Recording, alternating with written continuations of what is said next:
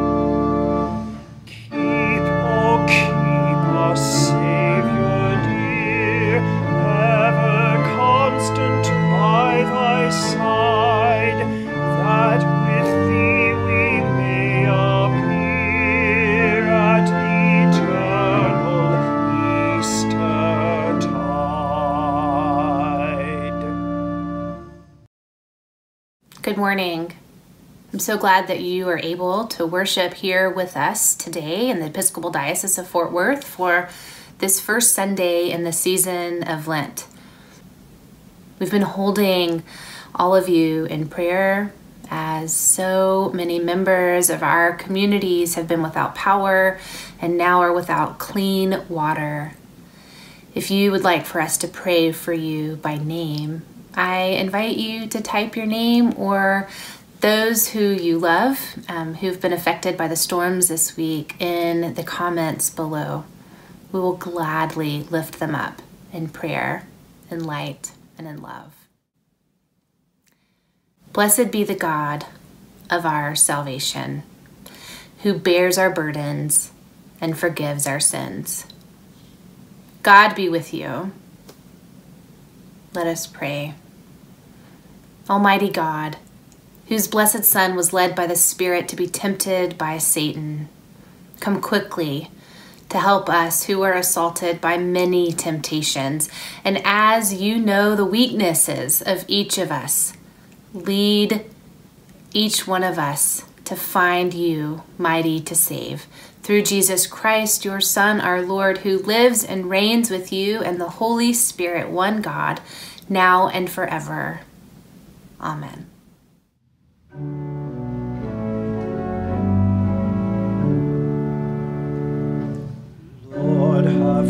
Mercy upon us. Lord, have mercy upon us. Lord, have mercy upon us. Christ, have mercy upon us. Christ, have mercy upon us. Christ, have mercy upon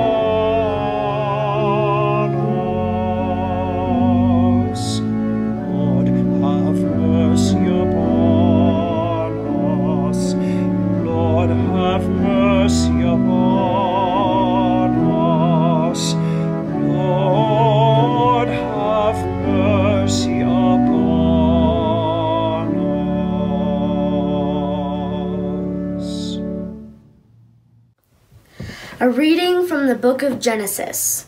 God said to Noah and with his and his sons with him, As for me, I am establishing my covenant with you and your descendants after you, and with every living creature that is with you, the, the birds, the domestic animals, and every animal of the earth with you, as many came out of the ark.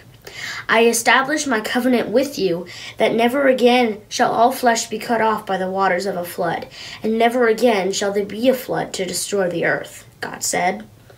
This is the sign of the covenant that I make between me and you and every living creature that is with you for, for, all future generations. I have set my bow in the clouds, and it shall be a sign of the covenant between me and the earth.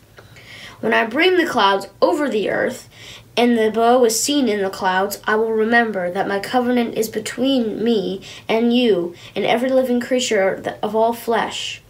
The, and the water shall never again become a flood to destroy all flesh. When the bow is in the clouds, I will see it and remember the everlasting covenant between me, between God and every living creature of all flesh that is on the earth. God said to Noah. God said to Noah that this is a sign of the covenant that I have established between me and all flesh that is on the earth. The word of God for the people of God. Thanks be to God. Let us pray Psalm 25 together in unison. To you, O Lord, I lift up my soul. My God, I put my trust in you. Let me not be humiliated, nor let my enemies triumph over me. Let none who look to you be put to shame. Let the treacherous be disappointed in their schemes. Show me your ways, O Lord, and teach me your paths.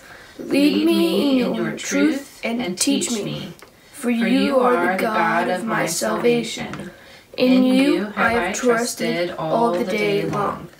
Remember, O Lord, your compassion and love, for they are from everlasting.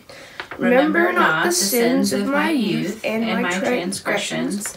Remember me according to your love, and for the sake of your goodness, O Lord. Gracious and upright is the Lord. Therefore he teaches sinners in his way. He guides the humble in doing right, and teaches his way to the lowly. All the paths of the Lord are love and faithfulness to those who keep his covenant and his testimonies. Forgive your for your name's sake, O Lord. Forgive my sin, for it is great. A reading from 1 Peter. Christ also suffered for his sins once for all, the righteous for the unrighteous, in order to bring you to God. He was put to death in the flesh, but made alive in the spirit, in which also he went and made a proclamation to the spirits in prison, who in former times did not obey, when God waited patiently in the days of Noah, during the building of the ark, in which a few, that is, eight persons, were saved through water. And baptism, which this is prefigured, now saves you, not as a removal of dirt from the body, but as an appeal to God for a good conscience. Through the resurrection of Jesus Christ, who has gone into heaven and is all at the right hand of God, with angels and authorities and powers made subject to him. The word of God for the people of God. Thanks be to God.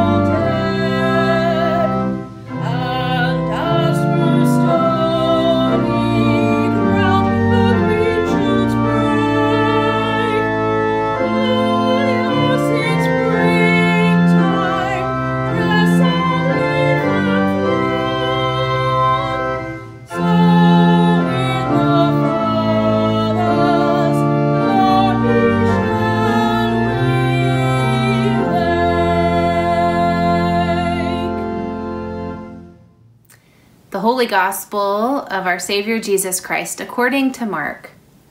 Glory to you, O Christ. In those days, Jesus came from Nazareth of Galilee and was baptized by John in the Jordan. And just as he was coming out out of the water, he saw the heavens torn apart and the Spirit descending like a dove on him. And a voice came from heaven You are my child, my beloved. With you I am well pleased. And the Spirit immediately drove him out into the wilderness. And he was in the wilderness for forty days. He was tempted by Satan. And he was with the wild beast, and the angels waited on him. Now, after John was arrested, Jesus came to Galilee, proclaiming the good news of God, and saying, The time is fulfilled, and the kingdom of God has come near. Repent and believe in the good news. This is the gospel of the Lord. Praise to you, O Christ.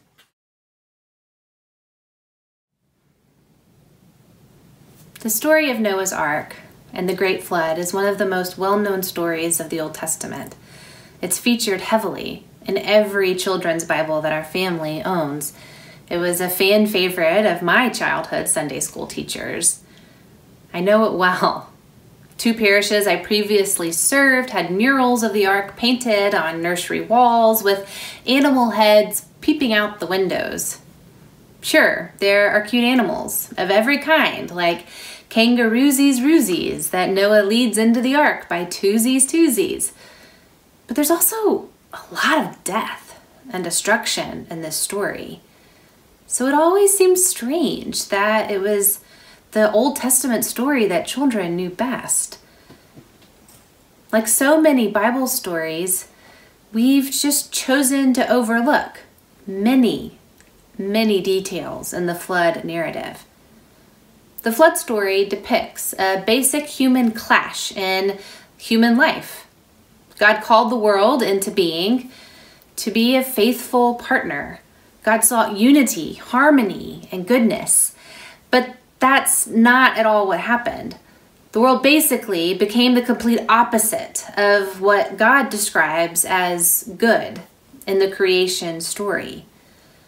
The world, at the time of the flood, is an unruly creation.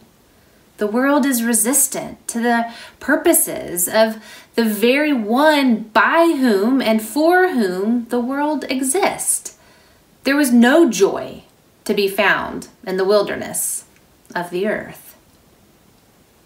Creation just refuses to honor God as God. There's this fracture between the creator and the created, and that's the premise of the flood narrative. A quick glance at the flood story might leave us to believe that God sent these raging waters and storms upon the earth out of anger and spite, that God wanted retribution for humanity's wicked and violent behavior. I mean, when we hear God say to Noah, I am going to destroy them along with the whole earth, of course, that's what we think. Just as we overlook the death and the destruction of the flood when we tell children about this story or we paint the picture of the story on a nursery wall, we also overlook the verses that allow us to better appreciate the character of God, especially God at the time of the flood.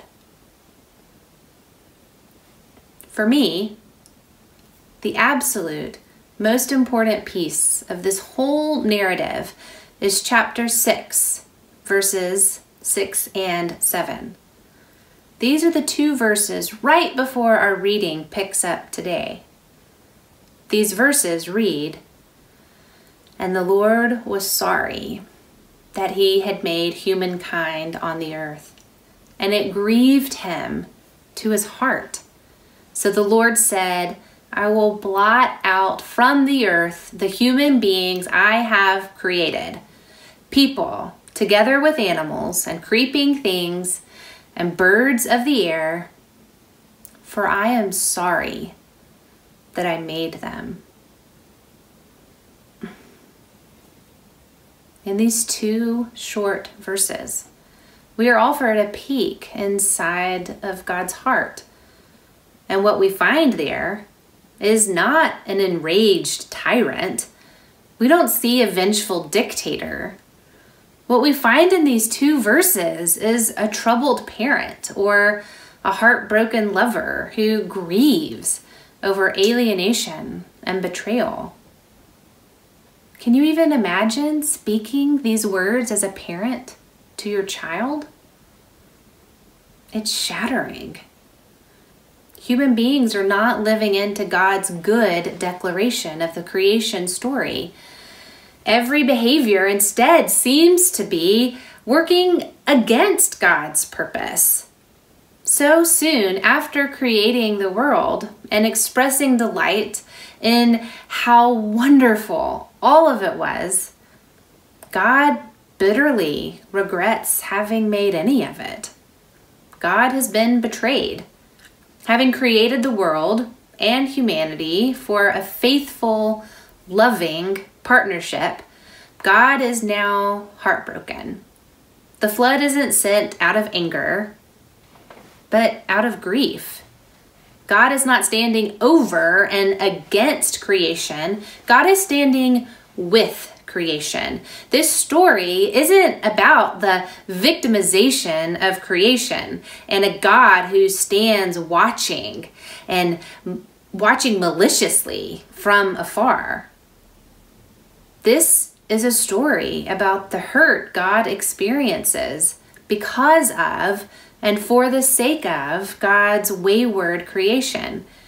God's desire for joy to be found in creation, even in the wilderness, was not yet realized.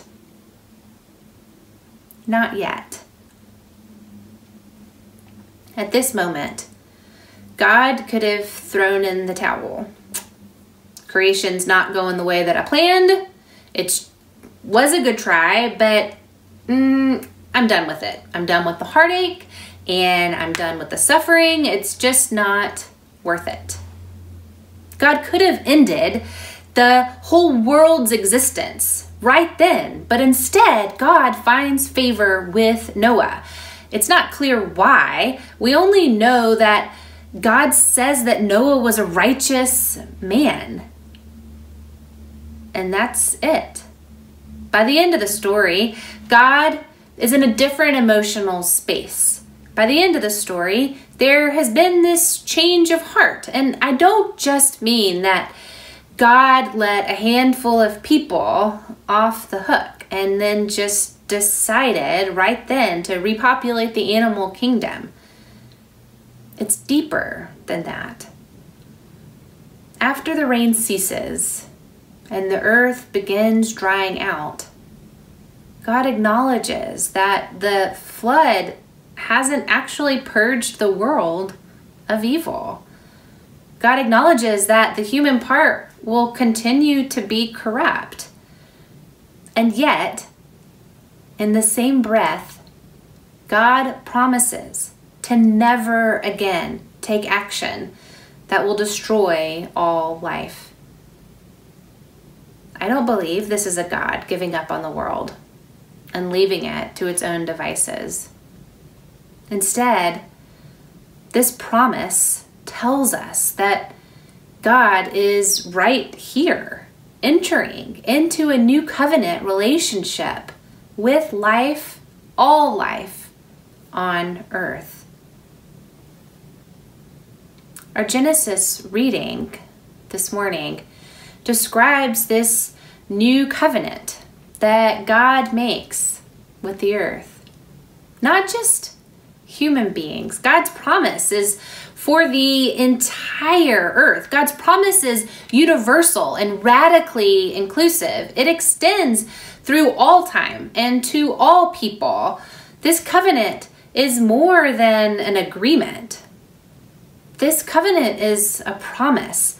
It's a unilateral and unconditional promise. And usually, when a covenant is made in Hebrew scripture, there is this expectation of what both sides will do, what God will do, and what humanity will do to uphold it on their end. It's a mutual agreement and it requires both parties to live into it. But in our text today, there's no mention of what human beings are supposed to do. God stands as the sole subject of the verbs throughout this text, and God alone takes on the obligations. God will never, ever seek to destroy humanity again. Here, God is reframing the divine relation to the world. God softens the workings of divine judgment and promises to never invoke such devastation again. God makes this promise. It's this covenantal promise, knowing that God will experience continual betrayal, that heartbreak and grief and frustration and pain will keep happening. But that is a price that God is prepared to pay. God makes a commitment to be open to the pain, to enter into the pain, to absorb the pain, and continue loving us without limits. That is God's promise. Somewhere in all the bitter regret and searing grief, God finds the capacity to love us no matter how far we fall, no matter how corrupt we become. God finds a new way of setting us on the path to wholeness. God continues longing for the world and all of its inhabitants to live up to the image of God in which we were originally created. That's what God's longing for. Imagine right now God looking at our world today. God must still feel deep grief and hurt at our resistance to live into this divine image. Rather than seeing all people as beloved children of God, we judge we stereotype. We inflict emotional and physical pain on those who differ from us. Each time we refuse to wear a mask correctly, or each time we allow racist behavior and language to go unchecked, each time we choose the quick and easy way over the right way. It is clear that even though Christ has come, God's perfect vision for creation will not be completely realized until Christ comes again. Thankfully, God still hasn't given up on us. God will never give up on us. Through the life and ministry, the teachings and healings, the death and resurrection of Jesus Christ, we are able to find joy in this wilderness journey. After all, that's where Jesus meets us. He went into the desert to prepare for his public life and his ministry. And it's in that place of preparation that we find Jesus today. As we continue to prepare to finally be the people that God created and called us to be. Our God built this ark of love and mercy to preserve us from the destruction and to carry us safely to the place where we can finally go and make a new start. It's not too late for this new start. We can still live into this image of God. And this time, we're all in the same boat, every one of us. So, what will you do with this deep love that God has for you? How might you live into this covenant during the season of Lent? How are you preparing in the wilderness to be the person that God created and called you to be? Amen. And now let us join with Christians around the world in affirming our faith with the words of the Nicene Creed. We believe in one God, the Father, the Almighty, maker of heaven and earth, of all that is seen and unseen. We believe in one Lord Jesus Christ, the only Son of God, eternally begotten of the Father, God from God, light from light, true God from true God, begotten, not made, of one being with the Father. Through him all things were made. For us and for our salvation, he came down from heaven. By the power of the Holy Spirit, he became incarnate from the Virgin Mary and was made man. For our sake, he was crucified under Pontius Pilate. He suffered death and was buried. And on the third day, he rose again in accordance with the Scriptures. He ascended into heaven and is seated at the right hand of the Father. He will come again in glory to judge the living and the dead, and his kingdom will have no end. We believe in the Holy Spirit, the Lord, the giver of life, who proceeds from the Father and the Son, who with the Father and the Son is worshiped and glorified, who has spoken through the prophets. We believe in one holy, Catholic, and Apostolic Church. We acknowledge one baptism for the forgiveness of sins. We look for the resurrection of the dead and the life of the world to come. Amen. God, we are in the wilderness. As much as we have tried to map, domesticate, and routinize every inch of your creation and every moment of our lives, we know our maps do not tell us where we are with you, and that our schedules often serve to distract us from the reality that we ourselves and so many of our neighbors on this planet are in the wilderness too. And so we pray, here in this wilderness, prepare your way, O God with all persons kept in poverty or slavery, all who are in fear from abusers, terrorists, oppressors, all who face addiction of any kind, and all who are targeted for unjust treatment because of who they are. We pray, here in this wilderness, prepare your way, O God.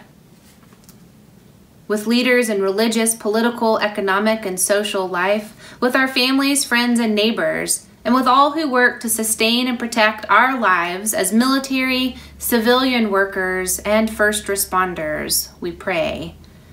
Here in this wilderness, prepare your way, O God.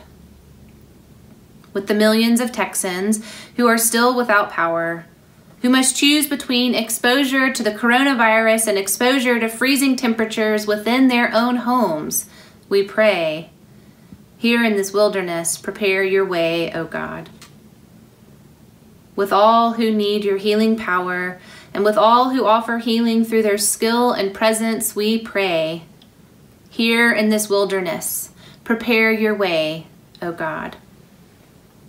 Receive the prayers of your people, most merciful God, and remain with us in these wilderness times. Grant us comfort and courage to restore relationships among God's people and God's created earth. Amen.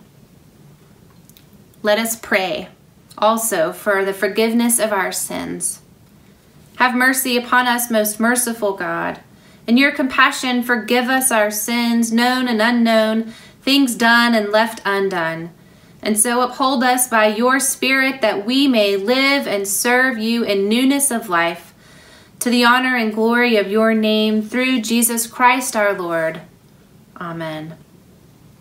Almighty God, have mercy on you. Forgive you all your sins through the grace of Jesus Christ. Strengthen you in all goodness and by the power of the Holy Spirit keep you in eternal life. Amen.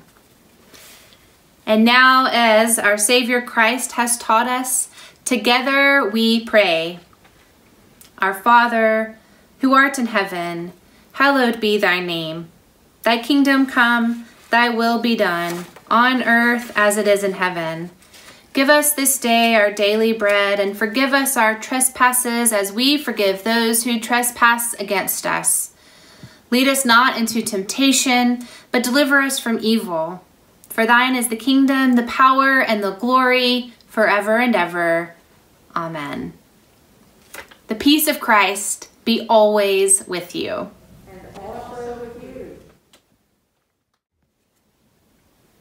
The Spirit drove Jesus into the wilderness. The Spirit drives us there as well. Settle in, make strange companions, endure the trials, and trust the angels. Learn the way.